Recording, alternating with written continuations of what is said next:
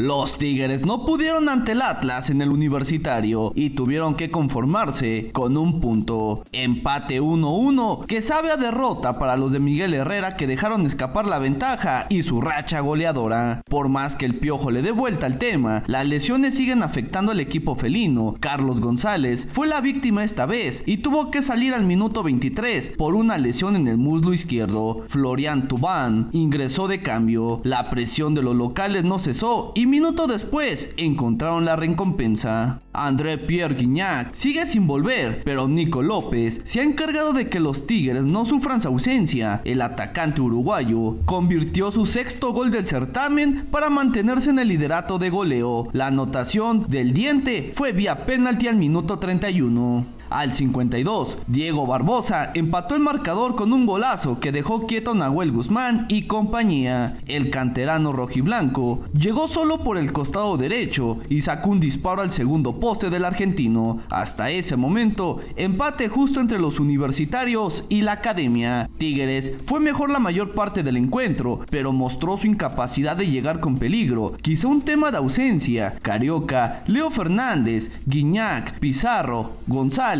pero al final una igualada que sabe a derrota para los de Miguel Herrera. Al minuto 92, el Diente López impactó un balón en el poste. Tras una buena jugada individual, el volcán mostró indicios de erupción, pero al final se tuvieron que conformar con un empate ante los zorros, que no ganan en el universitario desde el 2015.